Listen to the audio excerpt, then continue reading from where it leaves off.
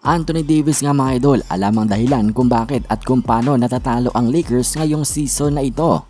Sabi nga ni AD mga idol, nakaka-frustrate nga daw na itong team ng Lakers ay hindi makapagtapos ng laban ng maayos o matapos nga ang mga games nila nang sila ang panalo.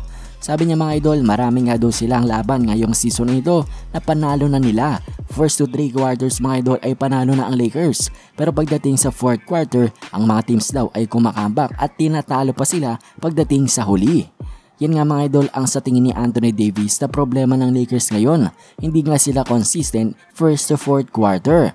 Parang nakakatulog nga sila mga idol tuwing lumalaki sila ng medyo malaki sa kanilang mga kalaban at hinahayaan nga na makakambak sila. At ang pinakamagandang example nga dyan mga idol ay nung laban nila against sa Oklahoma City Thunder.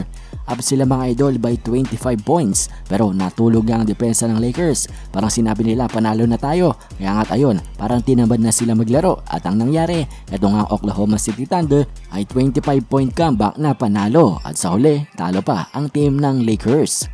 Yan nga mga idol sa tingin ni Anthony Davis ang problema ng team ng LA Lakers ngayon. Hindi nga sila consistent first to fourth quarter. Sangayon ba kayo mga idol sa nasabi nito ni Anthony Davis? Komento nyo lang mga idol ang inyong mga opinion.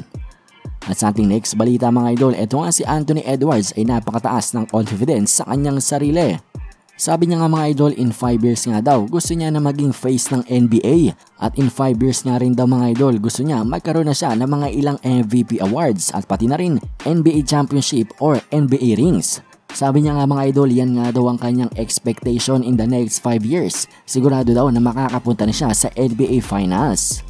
Pero ayon nga mga idol sa mga NBA fans, kung gusto nga daw magawa yan ni Edwards ay ginakailangan niya na umalis dito sa team ng Timberwolves dahil hindi nga daw siya panigurado matutulungan nila.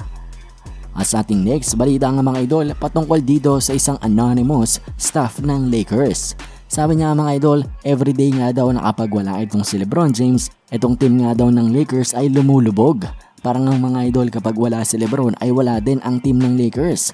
Yan nga mga idol ay report ng isang ESPN reporter at sinabi nga daw yan mga idol ng isang Lakers staff na ayaw niyang pangalanan.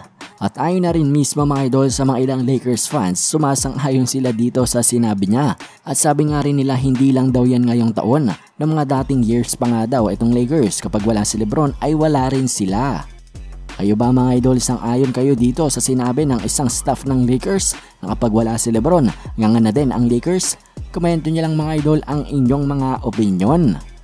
At yan nga lamang din muna para sa ating mga balitang NBA ngayon. Maraming ang salamat sa inyong panonood. Bye!